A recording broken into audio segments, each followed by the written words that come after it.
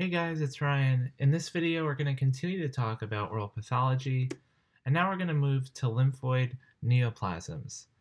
So if you notice, some of the things we talked about before, we broke neoplasms into pre-malignant, or malignant, or benign and malignant, but now we just group all of the neoplasms together, and that's because all lymphoid neoplasms are malignant by nature because they are already invaded past the basement membrane into lymph tissue with connections to the lymph nodes and vessels and can easily metastasize and spread throughout the body.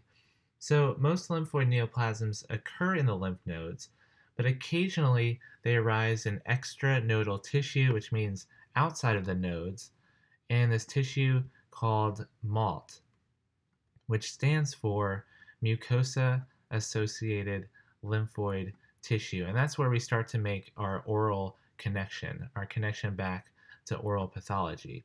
Because otherwise, it kind of seems like this is out in left field.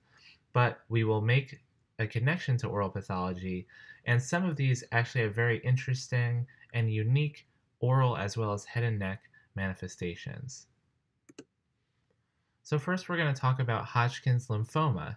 And this one is actually very rare in the oral cavity. And the only thing to really know about this one is that it involves Reed-Sternberg cells. It's a specific type of cell. It's a malignant B cell, and you can see in this histological sample that it looks quite abnormal when you compare it to a normal B lymphocyte. The treatment here would be a mixed combination or either chemotherapy or radi radiation therapy. And I usually do this, but the cells that are involved in a given malignancy, I'll have highlighted in red because it's probably the most important thing to remember about each of these, the cell type involved. So Hodgkin's lymphoma involves B cells only. Now next, naturally, we can talk about non-Hodgkin's lymphoma, or NHL for short. And this is a neoplasm of either B or T cells. And Burkitt's lymphoma is actually a specific type of non Hodgkin's lymphoma. And for Burkitt's, let's remember B for Burkitt's because it's a type of B cell lymphoma. And it involves these signs and symptoms bone marrow involvement, swelling, pain, tooth mobility, lip paresthesia, which is like a pins and needles sensation, and it also halts root development, which we can see in this x ray below. These stunted roots is the consequence of non Hodgkin's lymphoma halting the root development of that molar.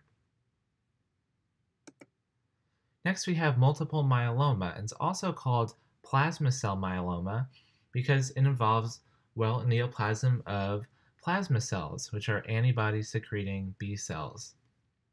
For multiple myeloma, I remember multiple as an important word because it has multiple punched out radiolucencies, usually in the skull. In this x-ray here, you can see these um, darker areas that are look like you took a hole punch and punched out these lesions in the skull bone. And this is a little bit complicated here. Um, amyloidosis due to accumulation of complex amyloid proteins that develop from antibody light chains. I would just remember maybe this connection to amyloid and it has to do with antibodies, which makes sense because we're, of course, talking about plasma cells here, which are secreting antibodies. And lastly, we're going to talk a little bit about leukemia, which is actually a really convoluted disease, and I feel like this could have its own 30 minute video dedicated to talking about it. So I'm really simplifying things here and probably cutting out um, a lot of information, but I'm trying to keep just the highest yield stuff for the part two board exam. So leukemia is a neoplasm of bone marrow cells and lymphocytes, natural killer cells, granulocytes, and megakaryocytes, uh, most of which we're of course talking about white blood cells here, but it also can um, affect and impact red blood cells and platelet production, as we'll see in just a little bit. So the classification of leukemia is based on two things on cell lineage, whether it's a myeloid blood stem cell or a lymphoid blood stem cell. Those are the two um, branching off points of the original hematopoietic blood stem cell and whether the disease is acute or chronic.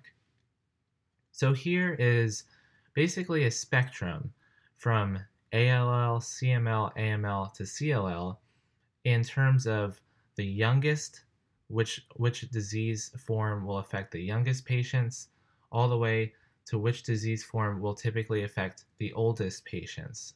So this is basically an order, and I should um, clarify that each of these stands for a specific classification that we just talked about.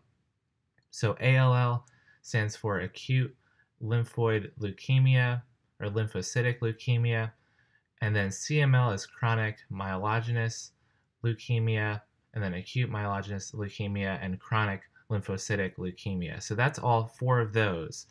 And this order is important to know. There might be a question on this um, in terms of which one would most impact, say, the youngest patient population, and that would be ALL, or which one impacts the oldest population, that would be CLL. And one mnemonic I use for this is that all children are chill. And this is because we can start with ALL here, then we start with CML, which starts with only C, are starts with A for AML, and then chill has all three letters C and L and L. So that's kind of how I can remember that ordering from youngest to oldest. And this is, again, super simplified, but in terms of just pumping out an important factoid for a question, this can be helpful to have in the back of your head. And again, although there is an overproduction of white blood cells, leukemia also impacts red blood cells and platelets. So, one way to remember the three main clinical signs are that bleeding is one of them, which involves platelets, fatigue, which involves red blood cells carrying oxygen throughout the body, and infection, which involves white blood cells, which are supposed to fight infection. So when we have an, uh, co- a compromised platelet, red blood cell, and white blood cell um, population in the body, these three things will manifest as clinical signs. So, although there is overproduction of blood cells and the lab results would read high for a specific type of white blood white blood cell, say the neutrophils, they are immature cells that are being overproduced. And so, so the overall function of the blood cells is reduced. And that's why we're seeing this bleeding, fatigue, and infection because the cells that are being produced in the body with leukemia are immature and ineffective. All right, so that's all we have for this video. I hope you found it helpful and interesting. If you did, please leave a like and subscribe to my channel if you haven't already for more oral pathology and other things dentistry. Thanks for watching guys, and I'll see you all in the next video.